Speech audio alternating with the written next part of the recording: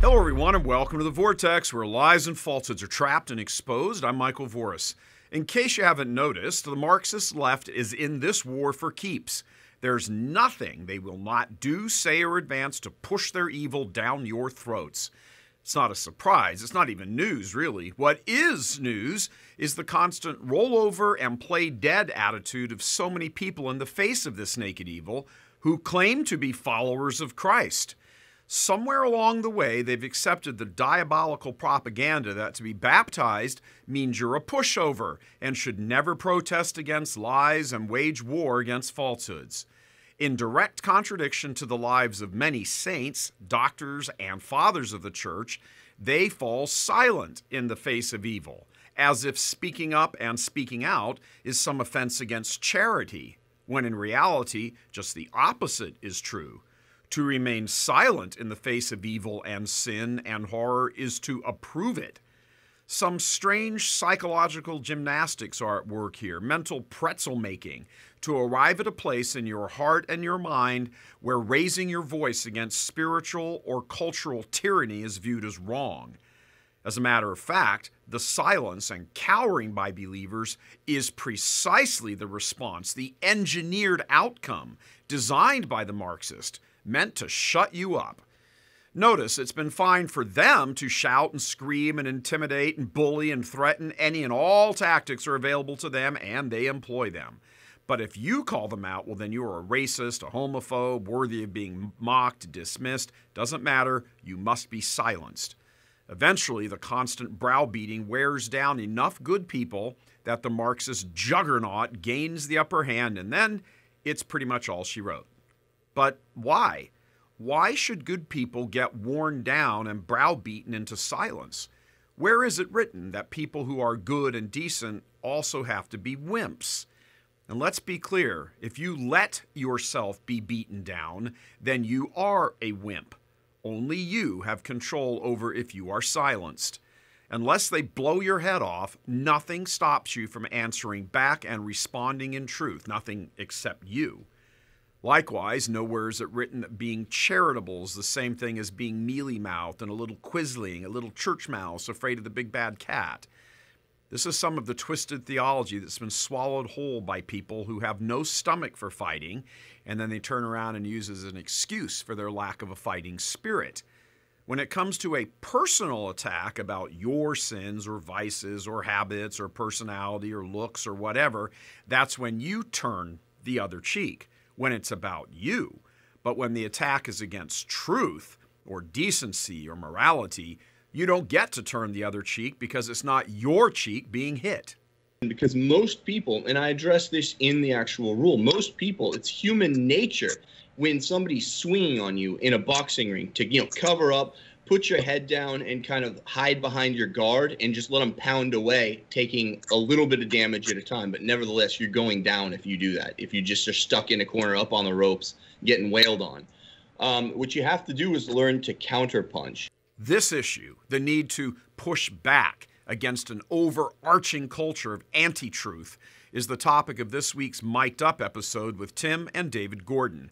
They point out how not one stone, not one corner of society has not been overrun by the dominant PC culture, which again has the single aim of dismantling truth. Non conservative comedians like Seinfeld and Chris Rock, guys that are not men of the right, now say, we don't know what happened. College campuses used to be the best place to play. You could get the easiest laughs, no pearl clutching.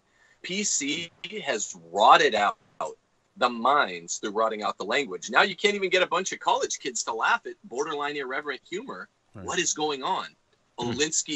PC community organizing rules for radicals hit home, and we're, we're just trying to reverse it. We're trying to storm the institutions. The Young Brothers have written an excellent book, Rules for Retrogrades, which lays out a very clear path for getting the culture back by unmasking the PC environment, specifically by challenging it, by going on the offensive. Please click on the provided link to view the entire episode, which we highly suggest. If you're already a premium subscriber, just click on it and watch. If you aren't, sign up, then sit back and watch. That brother duo has a lot of smarts. We need more of this type of clear analysis and thinking. On a good note, with relation to all of this, there does seem to be some kind of awakening to this cultural and political oppression that's going on. A lot more people are becoming red pilled, as they say, to affairs in the church, the government, and the Marxist media. Once you learn something, you can't unlearn it. The first step is to realize that things are completely upside down. Men are women, women are men. Two men serve as parents of a baby they got from a rented womb. Active homosexual men have seized operational control of the church through the episcopate and wrecked formation, liturgy, and the future generations of priests. If you look around, see all this, and wonder what's going on, well, you're almost there. Now it's just a matter of researching and connecting all of the dots. Loads of people are now on that path, and every day, more and more of the Marxist agenda is exposed for what it is. That's the reason things have gotten so testy, why there's so much division in the country. And if that's as if that's something objectively bad, it's not bad at all. Remember, at the end of the world, there will be gigantic, eternal division as there should be. In the meantime, in the lead up to that final dividing, it is our role as baptized to point out the reason there is division. Because evil has been quietly at work for decades in the American culture, bringing us to the point of cultural insanity to so obscure the truth that people will forget to fight for it. We are now at one of those moments in history, a fulcrum point, an inflection point, where our future will be forged for good or ill, but it will be determined.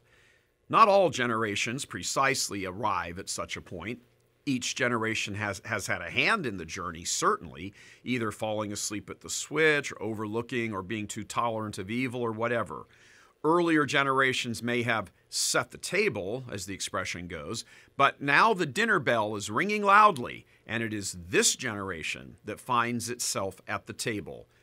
The only question remaining, after a sufficient number of people wake up, is will they have the stomach to fight and not just respond in some wimpy way, but really fight?